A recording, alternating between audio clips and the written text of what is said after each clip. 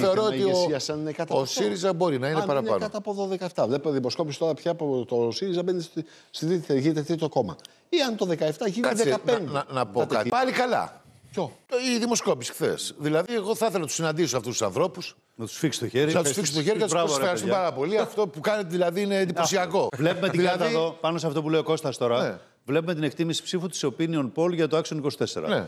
Και ο ΣΥΡΙΖΑ έχει περάσει πλέον τρίτο κόμμα, Κώστα. Εντάξει, 15%. Υπάρχουν Ναι. άνθρωποι δηλαδή που σου λένε εντάξει, ό,τι και να κάνετε εσείς, εμείς θα σας αγαπάμε. Δηλαδή αυτό είναι φοβερό. Είναι Αξιοθαύμαστο. εντυπωσιακό. Είναι Είναι εντυπωσιακό.